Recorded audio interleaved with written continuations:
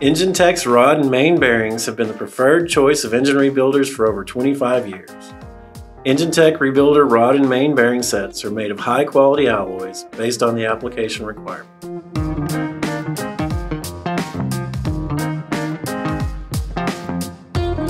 There are two basic bearing types including copper tin lead with steel backing as well as the aluminum alloy bearings. The copper tin lead alloy is being phased out primarily due to EPA concerns along with major improvements in aluminum alloy bearing technology, as well as being more environmentally friendly and cost effective. EngineTech controls our parting line chamfers very precisely, ensuring it is cut at the correct angle to allow for the proper amount of oil bleed through without reducing oil pressure.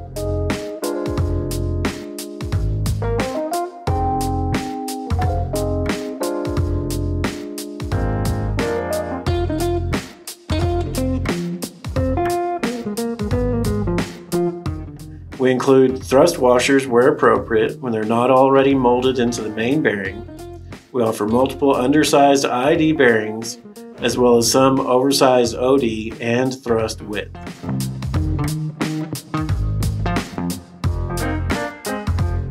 EngineTech bearings are made on state-of-the-art equipment, ensuring consistent bearing thickness for proper oil clearances.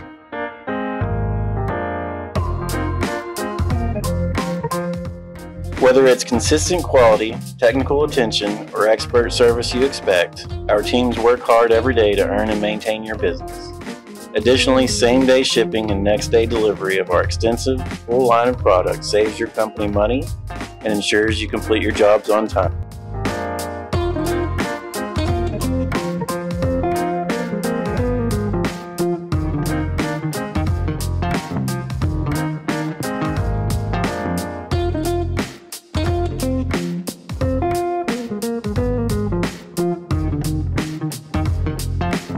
Find everything you need all in one place visiting www.enginetechcatalog.com now. Engine Tech, the engine builder's source.